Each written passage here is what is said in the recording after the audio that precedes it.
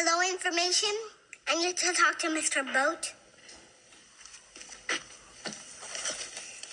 Mr. Oatboat.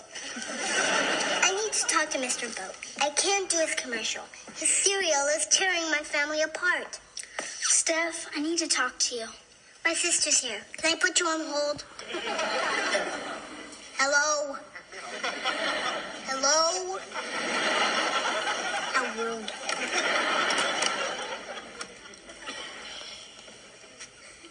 Sorry I stole your part.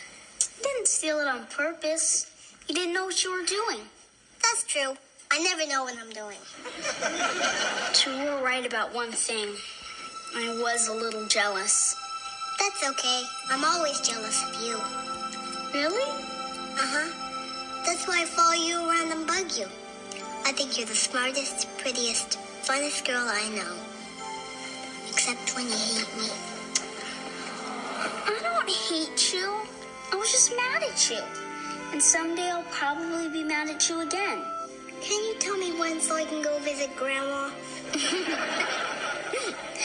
That was funny, Steph. Well, I know the rule is you have to love your little sister. But even if you were some strange little kid who lived in my room, I'd love you anyways. You're my best friend. Really? I'm your best friend? Yep. Well, that works out great because you're mine.